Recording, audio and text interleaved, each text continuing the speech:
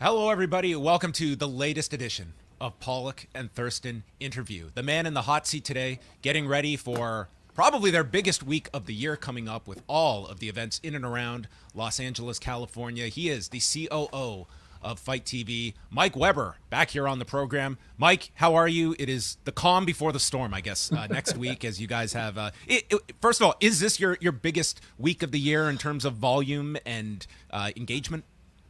It's a it's a strong weekend. Uh, it's a very big weekend. Um, the thing is, as we progress, it seems like we're getting more and more weekends like this all the time. Um, there's a weekend in mid-April. You can't believe how many different wrestling shows we have.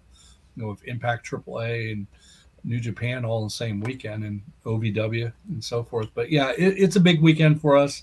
Um, it's sort of nice. It's all at one location there. Um, we got about 18 shows this weekend actually, we have done as many as 35 shows during WrestleMania weekend uh, when WrestleMania was in New York. There's just a lot more opportunities in New York than it was LA for live shows. But um, yeah, we're real excited about what we got going on next week. This has also been the uh, the launch of uh, FITE Plus uh, this year, and we wanted to talk a bit uh, with you about how long this has been in the pipeline and the idea of creating a subscription model as opposed to the the a la carte view- viewing that you know FITE TV has very much popularized within the pro wrestling landscape. Yeah, uh, we've been working on subscription service called FITE Plus here for about two years, sort of um, born out of the pandemic um, when we are looking to expand when all of a sudden we didn't have this many live shows.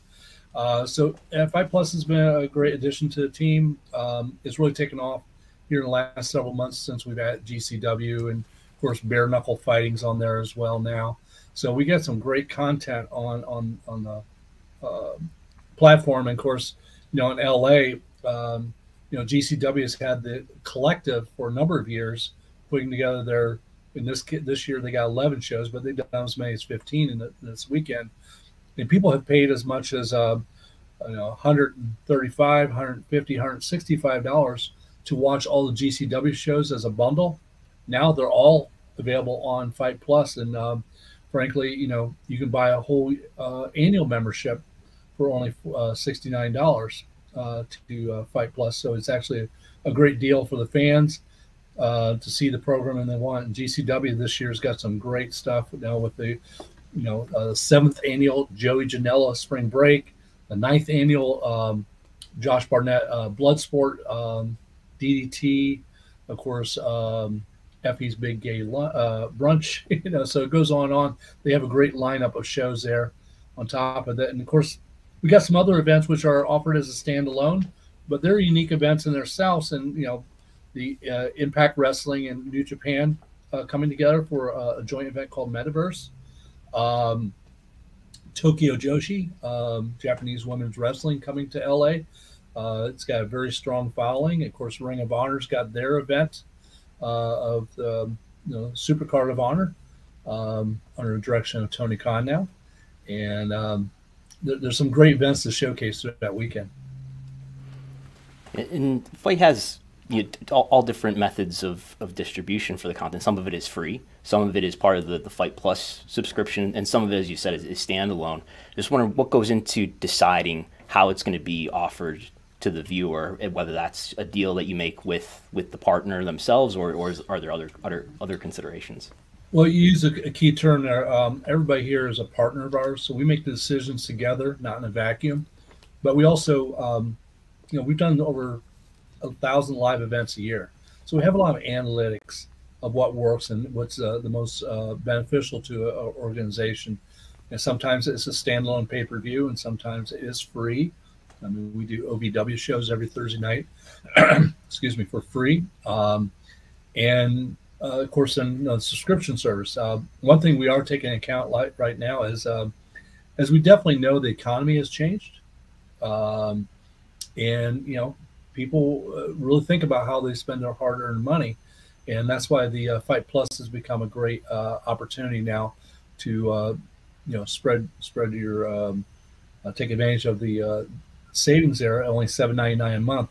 That's still a fantastic deal for a subscription service of any type, and especially in the sports world when you have you know ESPN and DAZN and these other platforms uh, definitely charging quite a bit more than what we charge for FITE Plus.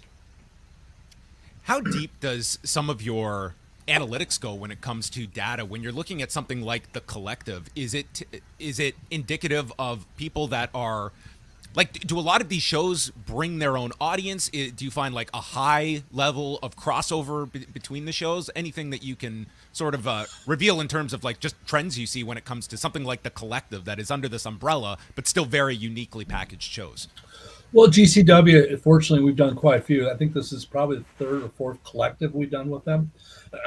And you know of course we do their 75 shows a year. So the, the analytics on gcw is, is very deep.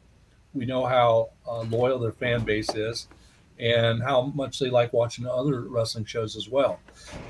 so yeah, we go uh, relatively deep, and it's really easy to go deep when you just have a lot of content over a period of time that you can really uh, draw a plan. I mean, we've been doing this for seven years now. In that period, we've probably done about 7,500 live shows, and um, practice makes perfect, and uh, information out there is uh, very valuable to us to make the right decisions. And when it comes to how you make these partnerships with, with different wrestling companies, is, I was wondering if you could give us any insight. I'm, I'm, sure you don't want to go into numbers or anything like that, but like, are there different sort of agreements in terms of are are the wrestling companies or other partners being compensated based on engagement, or or do some companies even have rights deals like we're familiar talking about when, when it comes to WWE and things like that? Uh, well, I mean, everybody we're doing with it, we have a rights deal with. Um, so there's really not a lot of, um, you know, to to. It's pretty black and white for us, to be honest with you. Uh, we're partners. Um, you, you, make more money, we make more money. it's a, uh, is is a pretty clear uh, relationship there, how it works there. So we both work together very closely in marketing the events, um, in promoting uh, and so forth, and um, it works out well. Um, obviously, some of these events, but not in the case of next weekend. Some of them are on cable and satellite, but next weekend's events are all exclusive to FITE, and and, and that's very important to us. When it comes to uh, newer companies that are emerging and wanting to get on the platform, like if uh, if it was Pollock and Thurston Pro Wrestling that was launching, and you've never heard of us, and we're coming to you what is what are some of the criteria and has that evolved over the years of sort of what is the standard you are looking for where it's not as um, proof of concept like a gcw that you have so much experience with or some of their offshoots no this is something we deal with every day um, matter of fact i did about three four of these calls yesterday uh, only one of them was wrestling but we also do it in boxing too um, you know listen as a starting company seven years ago pretty much is almost anything we would take um, the the bar was pretty low. Um, we're not getting snotty about it, but we do want to have a good television production. Fortunately, in wrestling, very very few companies I have to have issues with what they put in the ring. Uh, it's more about the, the their their fan base, uh, how they market themselves, and the uh, TV production. You know, um, simple things like uh, making sure your ring announcer is part they can hear through the commentary. You know, and stuff like this. Um, make sure you have enough lights so you can actually see the tops of the guys' heads. so it's it's some pretty darn basic stuff here, but um, we are upping the uh, production quality of, of events, and we do uh, work on that quite hard. And there's a lot of uh, promoters now. We say, okay, like a show, we appreciate your effort and stuff, but maybe you should test it out a little bit more doing it on YouTube uh, or some other platform, and then come back to us in a few months, and um, hopefully you guys have uh, gotten the experience to put a good, well-produced show together. I, last time you talked to John here was just about a year ago, I think, leading up to last year's WrestleMania, and at, at, at that time, Triller was about to go public, I think, a couple months away. Um, just wondering how how has Triller being a public company, who is your, your parent company, um, how how has that changed FITE? Well, unfortunately, they haven't gone public yet. Uh, they're okay. they're still they're still working on that yet. Uh, I do anticipate here in April. Um, I mean, we talk to auditors on a daily basis for them to put together their S1 filing. This is not a real super secret. Um, so they they have not released a date, uh, but we anticipate it's uh, uh, pending and very soon. Um, and that will change things uh, for us. Right now, it's been pretty much status quo moving forward with our our, our company here and um, doing well. I mean, we're, we're still averaging our 25 to 35 live shows a weekend. Um, all the time we start adding on the boxing events. We had some great boxing this weekend. Of course, we work in bare knuckle fighting quite closely, which is also was acquired by Triller, which is um, a, a, real important factor for our development of our relationship with them. That we now have a uh, the same parent company. I wanted to ask as well, just uh, so, sort of your thoughts when it comes to the, you know, the uh, evolving technology when it comes to a lot of these these buildings that you're dealing with. I think that that is always something that you know, it, it seems like it's more of a thing of the past now of making sure a stream is reliable. Like there's a certain consistency that I think FITE has developed. Um, but when you are assessing like buildings that you have not run before, what are what are some of the checkpoints that you're looking for? Just that that a building can carry a live stream for three hours or so. Well, um, yeah, we always want to make sure it's a dedicated internet stream, and and fortunately, it's much better than it was when we started seven years ago. Um, but one other major development in the technology standpoint is um, is uh, there's something called LiveU Box, which uses a cellular, a bonded cellular um, uh, component to it to deliver. So that's a good backup if there's a subpar internet in the venue. So it, it's changed um, quite a bit here. Um, I won't say we, we we still worry about it every single weekend to make sure we have the right um, technology coming out of the building for us. And speaking of technology, um, you know, FITE uh, has really made some great strides on our own platform. We just uh, released this past weekend a new version on iOS. Uh, we also had uh, a new version on Android here about a month or so ago. Our uh, website has been updated, and we think we've enhanced the viewing experience on FITE too, which is uh, where we've been putting a lot of our time and effort in from a technology standpoint. And we want to make sure I mean, frankly, right now, of course, I'm biased, but I think we have probably one of the best uh, uh, viewing experiences for an app out there right now. And is it still? I know that in the past we had spoken, and you had mentioned like one of the very unique um, attributes of professional wrestling is the replay value. Is that still yes. the case when it when it comes to that? You know, WrestleMania weekend. There's going to be so many events, and it's not foreign that people will go back and watch shows Whereas boxing, MMA, bare knuckle, it's sort of a, a, small window that you have where it's it's relevant to the fight audience, and once the result is out, it's almost as though it's on to the next event. Yeah, it, it's pretty dramatic. Uh, uh, dramatic how different the viewing experience is for boxing fans and wrestling fans. Boxing fans, the minute that fight's over, we probably will do single digits in buys. Whereas wrestling, after the event's over, we'll probably add another twenty to twenty five percent uh, viewership to those fights. And of course, now FITE Plus, that's geared to a lot of VOD content, and wrestling is thriving on that platform because people can go back and, you know, I think GCW alone, we have over 220, 230 past wrestling shows on the uh, archived in the system. That makes a, a big difference there. Um, matter of fact, just this morning, because I, I, missed it, I went back and watched uh, a good portion of AEW Dynamite from last week because I um, and know, it was, you know, it's always fun the first time you watch it, nevertheless, it was live or not. And, and wrestling lends itself because wrestling is more of a show than, say, a boxing event where you can read the results in the paper the next morning or on paper. That tells you how old I am on, on online minutes after it happens, you know. Following the industry, do you notice any patterns of like what spikes interest in a match coming out of a weekend, whether it's a, a, heavily reviewed match or if it's maybe some controversial spot that has sent Twitter into a giant debate. I mean, are, are there any certain trigger points where you know that's going to draw a lot of interest back to a show that maybe the night of isn't on everyone's radar? I think the name of uh, you know, the name of the wrestlers is still so important. Who it is, what their background is. That's going to get the casual viewer in there who knows of certain wrestlers. Oh, they're going to be on this show. I want to see it. Um, you know, unlike say uh, AEW or WWE or even Impact, most of these shows are not that we're airing, especially during the next weekend, are not storyline driven as much. Um, but they all know that, and you know, GCW's done this. You know, they they attached you know, Joey Janela's name, John Josh Barnett's name, um, uh, Jimmy Lloyd's name, even to to events there, and that gives the the, the tenor of what the show is going to be like, and that gets people excited. A New Japan versus Impact is uh, a, a exciting um, opportunity because it just doesn't happen every day. So you got specialties there, and that's what's making it work. Yeah, I, I remember early on in the pandemic talking to a, a few independent wrestling promoters who were really pessimistic about the future of independent wrestling at that time because you know the the pandemic was happening and that stopped live events.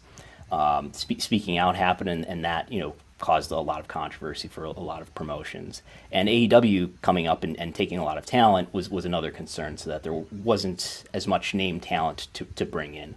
So I'm, I'm just wondering from like from your perspective, do you feel that independent wrestling has changed a lot in, in the last several years, or or is it is that just sort of offset if it if, it, if that's the case? Is that just offset by streaming being more embraced as time goes on? Well, I think independent wrestling has grown because there is streaming and people can find it um, easier uh, instead of tape trading and so forth, like was back in the day. And uh, I'm dealing with more and more companies said, well, we, we started because of the pandemic.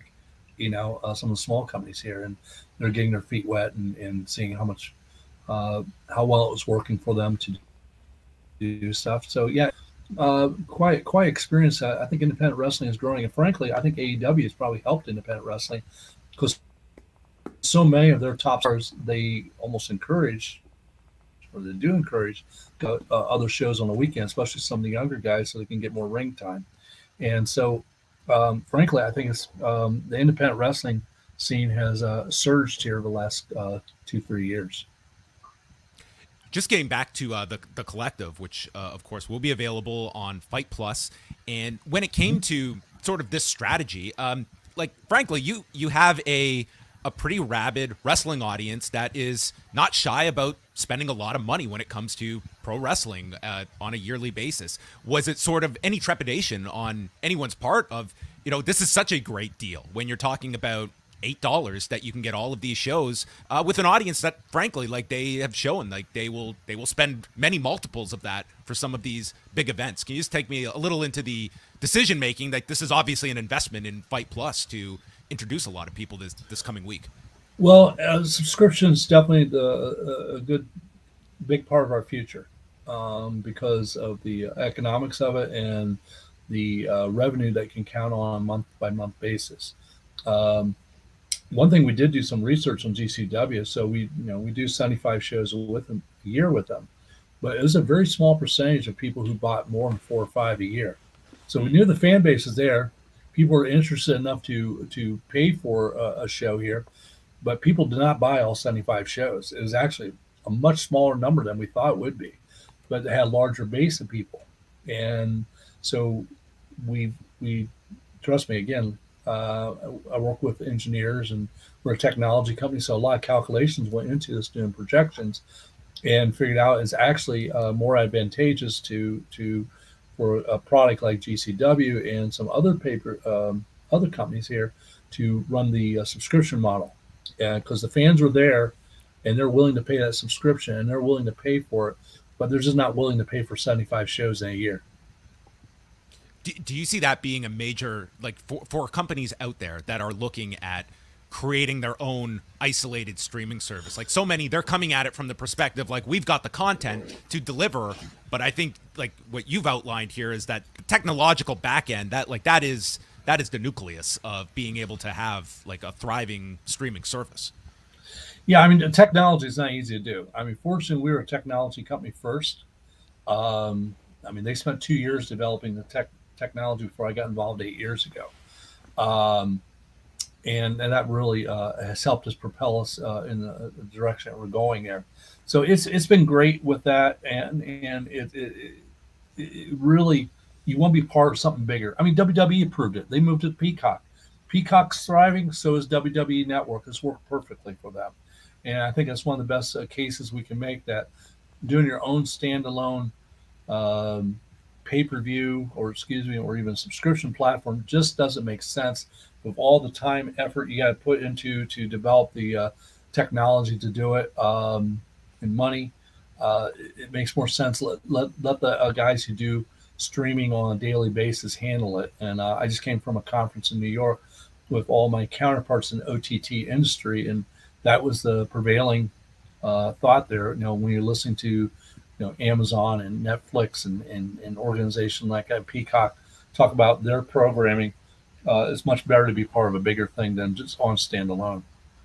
I mean, how many how many subscriptions do you really want? You know, you gotta have your Netflix and you gotta have your Prime, and then it starts you know starts adding up pretty quickly. So just having one subscription for say the wrestling category or the combat sports category, which would be FITE, um, makes more sense than having a, a GCW app and a, uh, I don't want to start taking shots at everybody, but you know, having separate uh, individual um, streaming services just for your brand.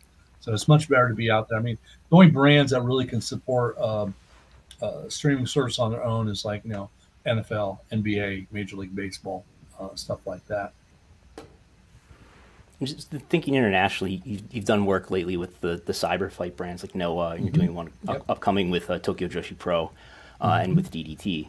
Um, are there other opportunities with you know fairly big international promotions? Um, the ones that, that come to mind for me that I don't think you've done work with yet is, is Dragon Gate, and I think that you've done a little bit in the past with All Japan, and and even uh, Stardom is doing some pay per view events that are away from its subscription service.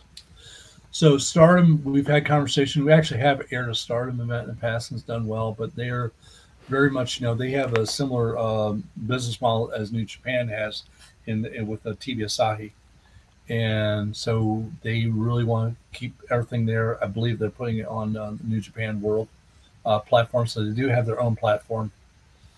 I disagree with that direction, but that's the direction they're going. Um, and we do work with other, you know, we just aired this past Sunday you know, a AAA uh, lucha event. So we're working with them internationally. We have had some uh, initial conversation of Dragon Gate, and and um, we actually have done um, um, All Japan in the past, and uh, we've been trying to figure out how to resurrect that uh, relationship there. And um, it just, I'm one guy doing all of it, so don't get done as quite as quickly as I would want to do it. I would like to do more and more. But um, yeah, it's very important to us uh, to have the international wrestling. Um, where we have uh, really progressed is in the UK, uh, working with more and more wrestling organizations there. We just um, you know did an announcement about a deal and done some of their first events again was uh, Insane Championship Wrestling out of Glasgow. Uh, we had worked with them before they went to WWE, and um, you know they've been great coming back here and excited. And we're talking to some other organizations UK right now as well. And, and their deal had just ended, it appeared, with WWE, with where they were on Peacock, and same mm-hmm. thing for Progress. So it appears that Progress is available right now too. It appears that way. We are in conversations with them, so um, we hope to have them on board. Uh, we are very familiar with them, uh, good people, and um, we hope we can just make a deal that works for both of us. And that's always the key to it. So, uh, but we're excited about it, and, and then um, one thing I want to mention, you know, in, in advancement of our, our FITE platform stuff too, is we have now um, really raised the bar with FITE 24 7. And FITE 24 7 is a free viewing service that's available on many, many platforms, most notably on Roku. Of course, it's on within our FITE uh, platform as well. And essentially fe- featuring boxing MMA and pro wrestling events that you can watch 24 7 it's a continuous stream of there. And we just announced that we've hit our uh, million hours of viewership here in the first year of operation for that. So, um, yeah, back to your original point is yeah, we we do offer programming on free pay per view and subscription. So really, you know, choose the way you like to watch us. Uh, we'll make it happen for you. And just to follow up on the AAA front after uh, this weekend's event, are there um, X amount of shows on on the calendar for FITE this year that you're committed to with AAA, or is that still in negotiations? No, we're committed to right now. There's going to be four major uh, pay per view events. Uh, long term, we do want to work with them to have them uh, more of their shows on to FITE Plus. But right now, the focus is their major four events, um, the Triple Manias events, um, which are coming up here. I think the next one's in mid April, and then I think the early early summer and late summer, I believe, is what the schedule is, and uh, they've been great partners to work with. Um, you know, we offer those shows in English and Spanish, uh, which is another sort of cool thing about our platform. Like you know, the uh, you know the AEW pay per view events. While we don't have rights in the United States, we do offer those shows in English, Spanish, French, and German because we have pretty much the rest of the world, and it does quite well for us. And my last question, uh, just I mean, you you have had quite the career in uh, in all of combat sports, and someone with uh, as much uh, of an ear to the ground as you do. Uh, where's WWE going to be at the end of this year? Do you have any any thoughts on wow what, what could be a very seismic year for the company? Well, obviously they're getting themselves set up to, to, for sale. Um, I I actually I talked to a, a gentleman at WWE this morning, and they are doing everything they can to be the most cost efficient vehicle to make their books look good as ever, and which there's nothing wrong with that. That's the way it should be. Um, you know, they're not sending as many people to uh, LA as they normally would for WrestleMania. Right. Um, they made their share of cutbacks and so forth to make themselves as lean and mean as possible, which obviously makes yourself uh, attractive to uh, an investor or a buyer. Um, Wow, I got to tell you, my money, and I have nothing to base this on other than doing this a long time.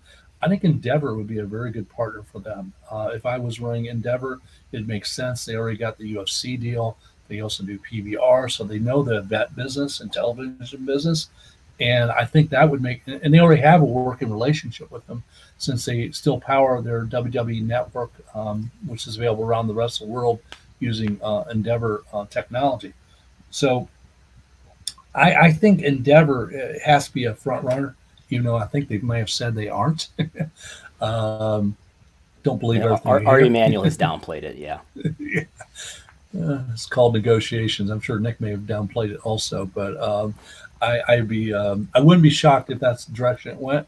That doesn't mean it's going to, but um, yeah, it's going to be an interesting year because I got to tell you what happens with WWE is going to dictate a lot of what the potential for AEW is going to be here at the end of the year too. It's just sort of interesting. They're on a parallel trend here to make major changes to their television distribution over the next, uh, well, I guess now nine months. So um, there's going to be a lot to watch here, and there's a lot of guys like me who are watching it very closely for sure. Well, you uh, you always have a, an open microphone here, Mike. If you ever want to come and uh, share your analysis in the uh, in the wake of this. Uh, anything else from you, Brandon, before we sign off? That that that's it. I, I had the W question on, on, my sheet too. You got me. Uh, well, we want to direct everyone over to uh, FITE.tv, and next week they will be busier than ever with all of the events going down. And anything else you you want to direct our viewers towards, Mike, next week? I'm sure many people that are watching this are going to be logged on to FITE throughout the uh, the entire week? No, I just mostly, you know, as we like to spell FITE, F I T E, download now and, and use it and uh, experience. If you've never been on it, I think you'll be pleasantly surprised how easy it is to find the type of programming that you want. And also watch out in the future here because we are uh, expanding into some other areas of sport beyond combat sports of soccer and rugby and programming like that. Well, Mike, we want to thank you uh, so much for the time. Um, I, have said before to others, I think you definitely have a book in you one day if you ever want to uh, recount your times. Uh, WWF, WCW, TNA, FITE TV. I mean, you've you've run the gamut in this industry, and we uh, very much uh, appreciate the time and all the best uh, next week. Yeah, I have a hard time holding a job down. So, yeah. so, be more than happy to. thank you so much. I appreciate you guys' time today. Thank you. Thanks again.